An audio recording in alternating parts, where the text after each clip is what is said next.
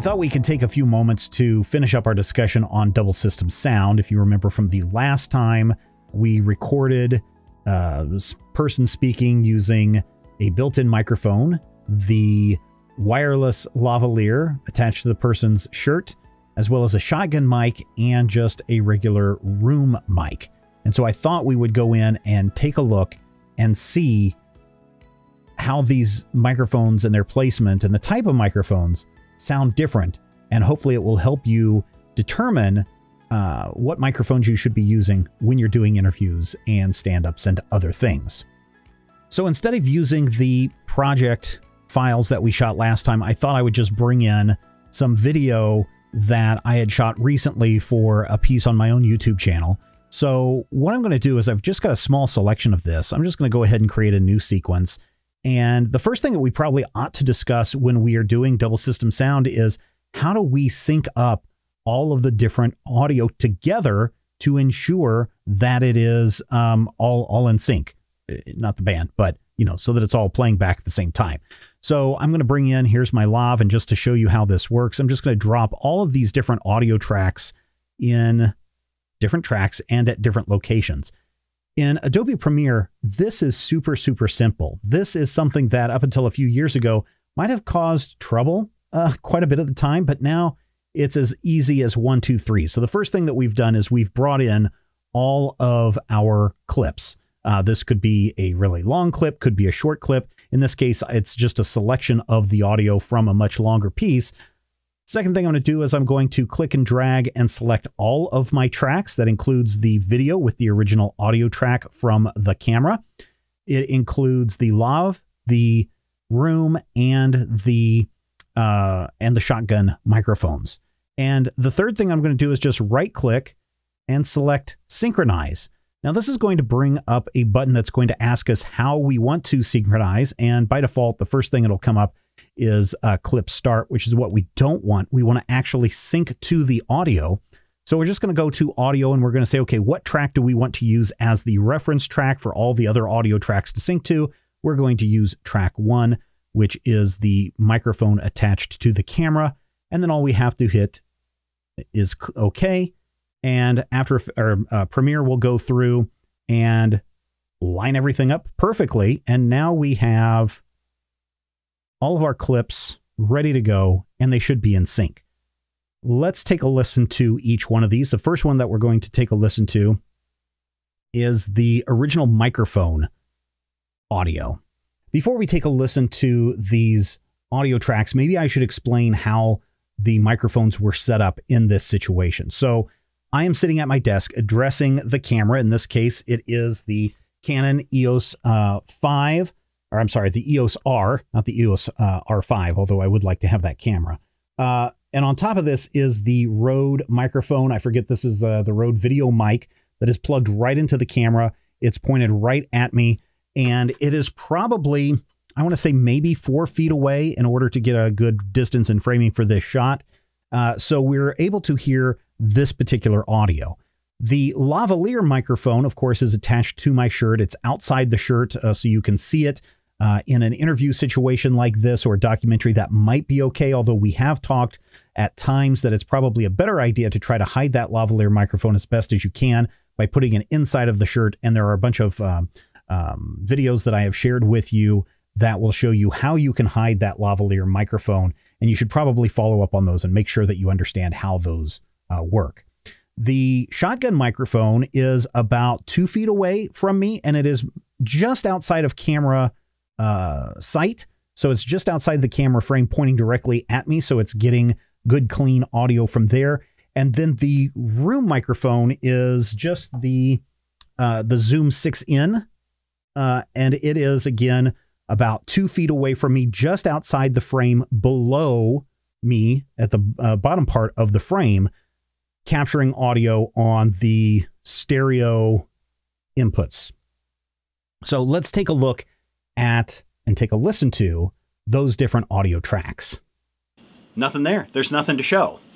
And so I thought in this update uh, I would give you some some uh, some apps that I'm using. Talk to you about some apps that I'm using. as well as some plans uh, going forward.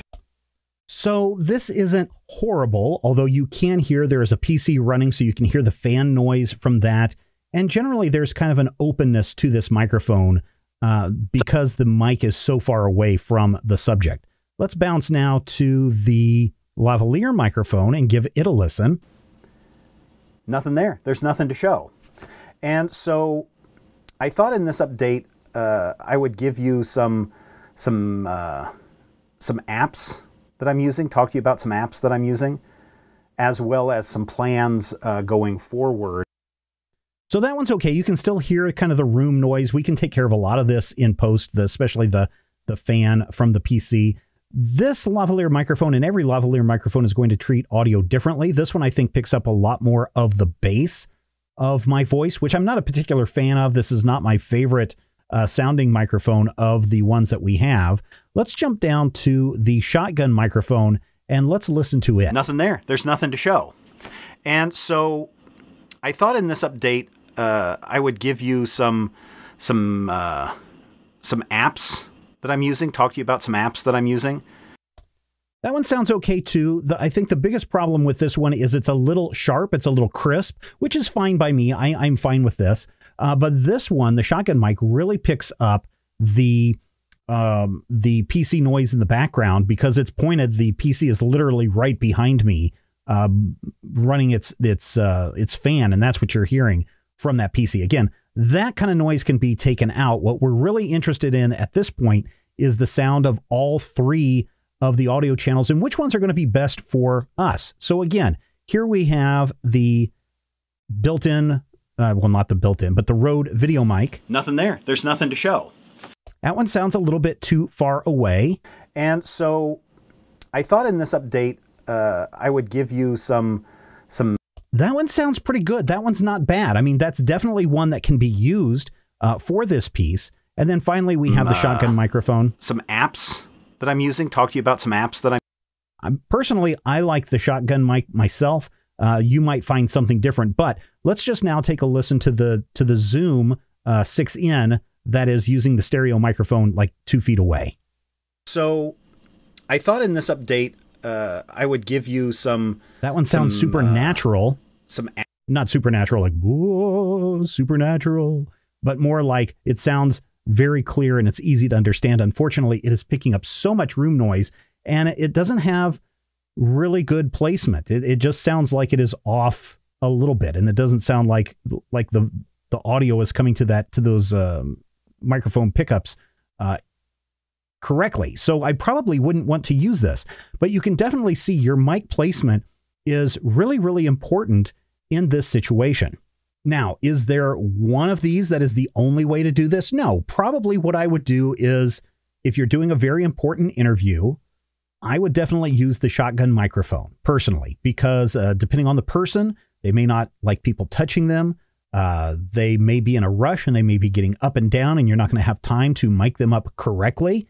So, if it's an interview situation for a documentary or a news piece, then having them being able to sit down with that shotgun mic placed properly is probably going to give you your best sound. But then you need to have some backup audio. So, definitely record from the camera depending on how far away you are. And again, if you're 10 feet away from the subject and zooming in to get a shallow depth of field with that uh, that with that shot, uh, that built-in microphone isn't going to do very good. Uh, certainly, having a second recorder on set, uh, kind of like the Zoom that's just recording audio just in case, it's never a, uh, a bad idea to have backup audio in case you want to uh, or need to pull from that in case one of these other microphones go down. But when we have a lavalier, a shotgun, a room mic, and the built in mic, man, you've got enough audio in case one of these outputs go down that you're going to be able to get something. And like I said, the little noise in the background is going to be pretty easy to clean that audio up. So I wouldn't be too worried about that. So that's double system sound. That is how you can sync your audio tracks together. You can then go in and decide which audio track you want to keep, and then you can delete the rest. And because they're synced together, uh, you're going to have really good playback throughout the rest of your piece. One thing that I should probably point out to you is linking. So let's just say that I want to use uh, the lavalier microphone for this entire piece. And you can see that if I move this video and audio track around, the lavalier mic audio doesn't follow. I'm just going to go ahead and delete these other two tracks because I'm going to just say, hey, I don't need those. What we can do is we can select all three of these tracks together. We can unlink them. Okay, so now this audio track is its own thing. So I can delete that if I want to. You don't have to, but you can. And I'm just going to move this track up, select both of these tracks, and then link them together. And now I have my video and the good audio all synced together and locked together and linked together. I thought so you're not update, going to have uh, I would any kind of problems some, going forward. Some uh, some apps. So while the short demo that I showed you works in Premiere Pro, that's not always the case. Sometimes you're going to have audio recorded at the wrong um, frequency. You're going to have one recorded like 44.1 and something else recorded at 48. Bad, bad, bad, bad, bad. Don't ever do that. Or you may just have general drift from your external recorder away from your your your camera, uh, unless you're using like timecode, jam syncing, those kinds of things, uh, which should resolve that problem. But just say you are an independent uh, producer, you've got your recorder, you've got your camera, you want to do some double system sound, so that gives some people the uh, freedom to move around, also gives you freedom to move your camera around without causing problems. Uh, what is another solution that you might look at in order to sync all of your audio tracks together? Well, I wanted to show you uh, Red Giant's PluralEyes just very quickly, just so you understand how that works. Here is Red Giant's PluralEyes 4, and this couldn't be easier to use. The first thing I'm going to do is take my video and my audio and drop that in, and then I'm just going to bring in, here's my lav mic, here's my shotgun mic, here's my room mic. And once these are all brought in, and this may have exported the entire audio, the entire, yeah, this looks like it uh, exported the entire uh, seven, 10 minute audio. I'm only looking at a short bit, but it'll still work with this. And depending on how long your clip is, it may take a long time for PluralEyes to import and um, display the waveform or any video information that it needs to display. But this is actually a good example to see how well will these items sync together because we have a very small chunk of video and some very long bits of audio. And I'm going to say somewhere around here is where everything should line up. But you bring in your video, you bring in your audio, and you can have multiple cameras. You can have multiple audio sources, uh, especially if you're doing uh, a multi-track session. I really enjoy using PluralEyes to get everything synced together because I can just bring everything in. Once it's in, I click, click, uh, I click synchronize, and there you go. It bumped this video track all the way down here. I can spot check this if I want to. I thought in this update, uh, sounds good. Then I can just export this as its own project, its own XML file. Uh, let's just call this one class sample. And then I can say that I want to export it in a Premiere Pro format, although you have some other formats as well. I'm going to export that. And when I'm done with that, all I have to do is bring that back into Premiere. I just have to go in and import that particular XML file, and it will bring in the project and the files and keep everything um, uh, synced together and give you a, sync, a sequence at the same time.